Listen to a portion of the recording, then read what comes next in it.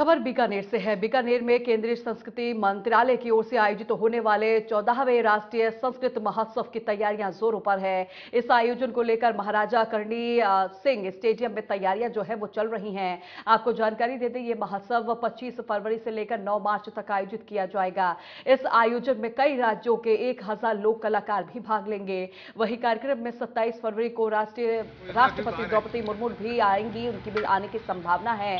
और इसके अलावा आपको बता दें राज्यपाल कलराज और केंद्रीय मंत्री समेत तमाम मंत्री जो है इस कार्यक्रम में शामिल होंगे। जैसे कि हमारे भारत के बारे में बताया जाता है कि हमारी संस्कृति इतनी विविध है कि अगर हम इसको देखते रहें या दिखाते रहें तो ये कम नहीं बढ़ती बढ़ती है, इसकी खुशी दुगनी हो जाती है। ऐसे ही भारत सरकार के जो सात केंद्र हैं अलग अलग जोनल सेंटर जो बनाए हुए हैं मिनिस्ट्री ऑफ़ कल्चर ने तो उन सातों केंद्र मिलकर यहाँ पे एक आयोजन करते हैं, भारतीय राष्ट्रीय सांस्कृतिक महोत्सव के नाम से।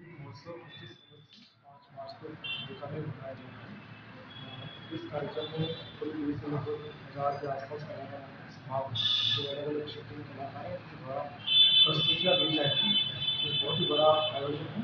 इस समय के करनी स्टेडियम में भव्य तैयारी की जा रही है, जो सांस्कृतिक केंद्र है भारत सरकार के सांस्कृतिक केंद्र वो भी अपनी प्रदर्शनी लगाएँगे साथ ही जो कलाकार, कला के अलावा जो क्राफ्ट का कौशल रखते हैं, वो भी अपनी इस पर